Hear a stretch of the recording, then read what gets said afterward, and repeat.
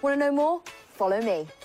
This winter, Longleat is hosting the Festival of Light, a spectacular display of lanterns which originated in China almost 2,000 years ago. The designs are based on myths and legends from Chinese culture, and each one is handmade from scratch. Just inside here are some of the finished lanterns, and they'll stay inside until they're moved into position for the festival. Let's go take a look.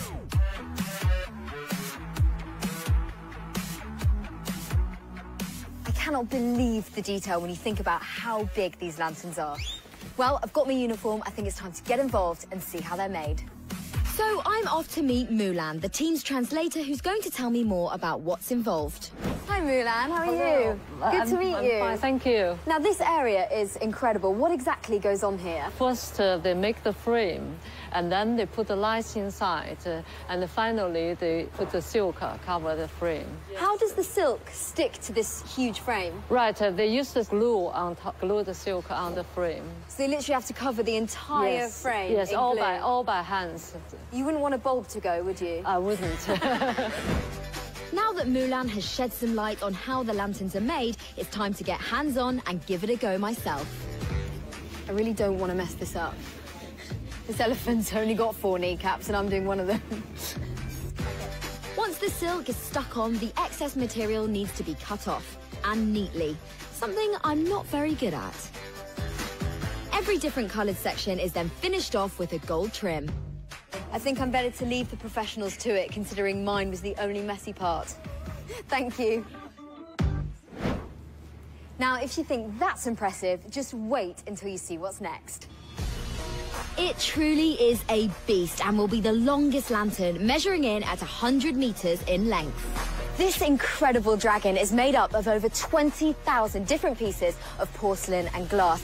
That's a lot of plates, bowls and spoons to fasten in place. In the end, it'll take 12 people about three months to fully assemble it. Every single piece of porcelain has been tied up by hand. Not only that, the patterns of string on them is incredible. So that's the longest, but what about the tallest? Coming in at 18 metres high, it's another biggie, and I'm helping to get the top of this temple lantern in place. Yes, It's on.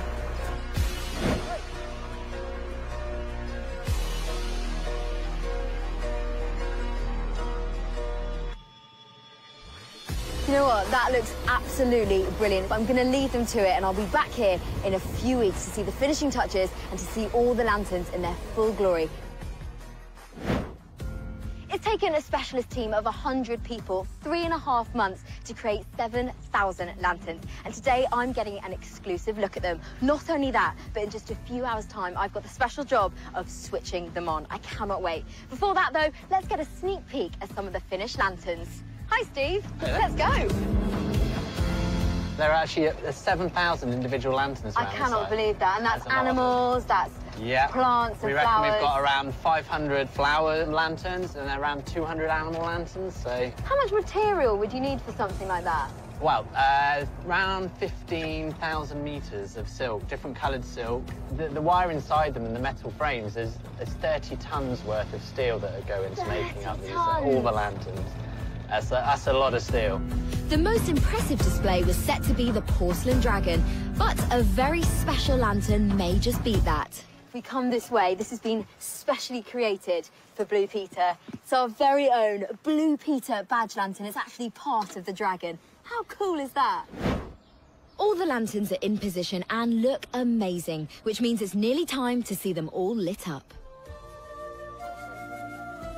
Do you think you could help me with a little countdown? Three!